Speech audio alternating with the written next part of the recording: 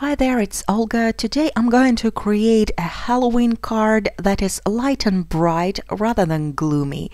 And if you are looking for this type of Halloween designs, please join me for this video and uh, I'll show you exactly how to make this card. So let's get started. I have pre-cut a piece of watercolor paper to about 4 by 6 inches and then I'm going to use this 3D embossing folder by Tim Holtz. This one is called Lumber. I'm going to apply antique linen distress oxide ink onto one side of the embossing folder. This is going to add some color along with all the texture that is created by this folder. So I'm placing my piece of paper inside, closing it up, and then I'm sending it through the die cutting machine. And here you can see all the amazing texture and uh, added color. Now I just have to apply some double-sided adhesive at the wrong side of uh, the embossed panel and I'm going to attach it to the card base that is slightly larger than a panel. It measures about four and a quarter by six and a quarter inches. And here is my background all done. I just have to attach some die cut images on top of it. And I'm going to use the new Poppy Stamps dies. They are Warm uh, Wishes gift card cup. Then there's Winter Berries, Magical Cauldron, Happy Jack-O-Lantern, Happy Halloween Cat, Maple Trio, and Autumn Leaf Set. I've die cut everything out of white, black, kraft, yellow and red cardstock. I've die cut more leaves than I'm gonna use, that is just to make sure I have enough. Before I start attaching all the elements onto the card front, I'm gonna add some inking and coloring to the die cuts. With this uh, berry branch, I'm going to take gathered twigs uh, distress marker, which is the dark brown, and I'm going to color all the branches, leaving the berries red. I'm going to color all the branches exactly the same way, and then I'm moving on to the leaves. To ink up the leaves, I'm going to use some distress inks and I'm going to apply them with the, the, finger daubers. It's a very convenient tool to work with the small die cuts. I've applied just a tiny bit of green here and there and then I made in uh, some orange. With the sponge daubers it's very easy to create color variations and color transitions.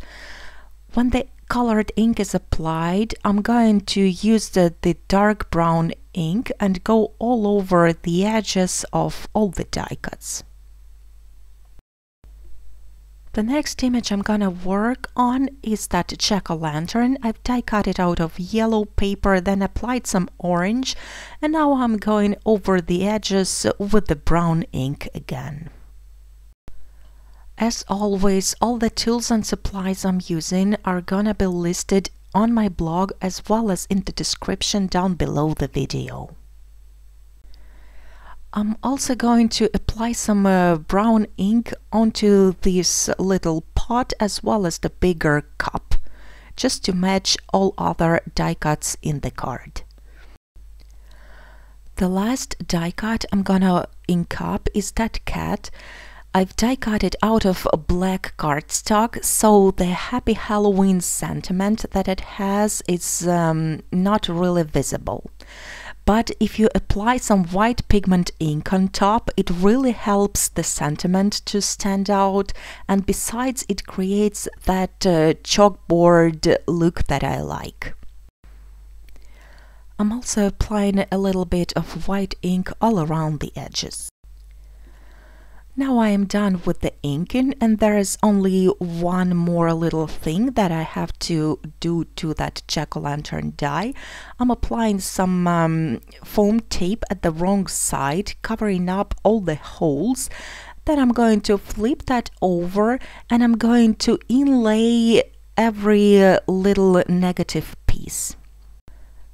You can use black if you want more contrast, but I decided to use that yellow as if uh, the jack-o'-lantern is lit from the inside. So now all the die cuts are ready to be attached on a card. I'm basically going to create a nice big cluster with them. To me, the most convenient way to work with a bunch of different designs is moving from the biggest elements to the smallest one. So I'm starting with the biggest uh, die cut, which is this cup. It already has that slit created by the die and all I have to do is to take some leaves and berries and uh, play around with them and create my little bouquet. And once I'm happy with their placement, I'm just using a tiny dot of uh, liquid adhesive to attach each element on its place. Then I'm going to attach the entire cup with the leaves onto the card with the foam tape. And by the way, this cup can be used to hold a gift card and uh, that is exactly why it's called a gift card cup. At this point I have decided to trim off the handle from the cup because I don't need so many elements at the background. Then I'm going to attach the cat image and I'm using the foam squares as well as the liquid glue. I'm placing it right in front of the cup and sticking it down. The next largest element is that jack-o'-lantern and I'm going to attach it with the foam tape. I was moving it uh, left and right to find the best position for it, but once I'm happy with the placement, I can uh, press the die cut down and it's gonna be stuck. This die is magical cauldron and the die also creates that vapors coming out of the cauldron but I'm not gonna use them for this project I'm uh, only going to use it as a flower pot. So again, I'm adding uh, some leaves and berries inside and uh, the slit is also created by the die so you don't have to cut anything additional. This is exactly how I created the larger bouquet. I'm just using the smaller die cuts this time. Then I'm applying some uh, double-sided tape and I'm tucking it behind the cat image. So now all the basic elements of my composition are attached and uh, all there is left to do is to fill in the spaces and uh, balance everything out.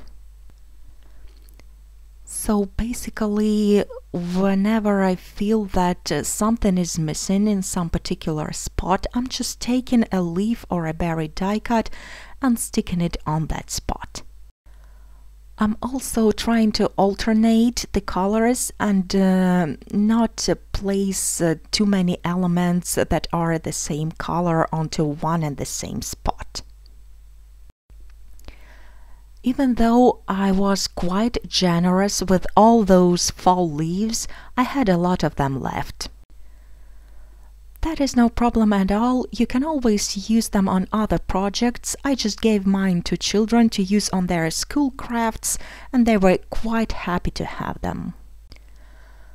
At this point I have decided to add some uh, more interest and texture to the focal image, so I'm applying glossy accents all over the cat die cut. I'm adding quite a generous amount of glaze and then I'm going to leave it to dry for a few hours. So using fall leaves is a great way to add more brightness to your Halloween cards. Thank you so much for watching. I hope you enjoyed the tutorial. Don't forget that my holiday series is starting soon, so don't miss it out. Have a beautiful weekend.